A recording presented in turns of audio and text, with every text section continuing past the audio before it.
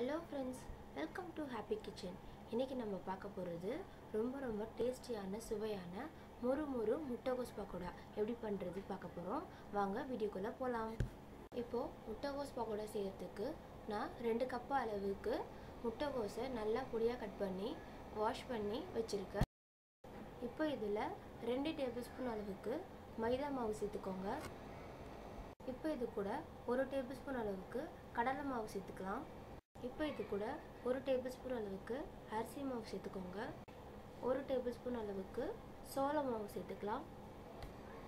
இப்போ இதில் அரை டேபிள் ஸ்பூன் அளவுக்கு காஷ்மீரி ரெட் சில்லி பவுடர் வந்து சேர்த்துக்கலாம். இப்போ இது கூட ஒரு துண்டு இஞ்சி ஒரு அஞ்சாறு பல் பூண்டு நல்லா வந்து இடித்து போட்டுக்கோங்க. இப்போ இது கூட தேவையான அளவு உப்பு சேர்த்துக்கோங்க.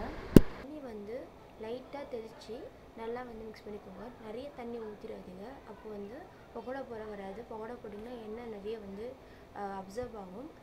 இப்போது இந்த அளவுக்கு நல்லா மிக்ஸ் பண்ணதுக்கப்புறம் இதை ஒரு தட்டை போட்டு மூடி ஒரு பத்து நிமிஷத்துக்கு அப்படியே வச்சுருங்க. பத்து நிமிஷத்துக்கு நல்லா வந்து ஊறட்டும். இப்போது ஒரு கடாயில் பொரிக்கிறதுக்கு தேவையான அளவு எண்ணெய் ஊற்றி நல்லா காய வச்சுக்கோங்க. இப்போ எண்ணெய் நல்லா காஞ்சிருச்சு. இப்போ பக்கோடா போட்டுடலாம்.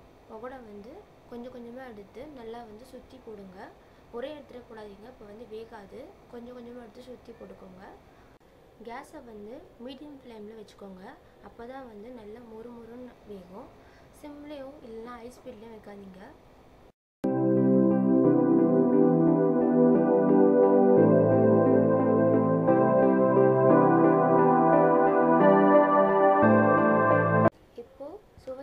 சூப்பரான மொறு மொறு முட்டைகோஸ் பக்கோடா வந்து ரெடி ஆயிடுச்சு இப்போ இதை ஒரு பிளேட்டில் மாற்றிடலாம் இப்போது சுவையான மொறு மொறு முட்டைகோஸ் பக்கோடா ரெடி ஆயிடுச்சு இந்த ரெசிபி உங்களுக்கு பிடிச்சிருந்துன்னா உங்கள் ஃப்ரெண்ட்ஸ்க்கு ஃபேமிலிஸ்க்குலாம் ஷேர் பண்ணுங்கள் லைக் பண்ணுங்கள் மேலும் நம்ம சேனலுக்கு சப்ஸ்கிரைப் பண்ண மறந்துடாதீங்க. பக்கத்தில் இருக்கிற பெல் ஐக்கானையும் கிளிக் பண்ணிக்கோங்க.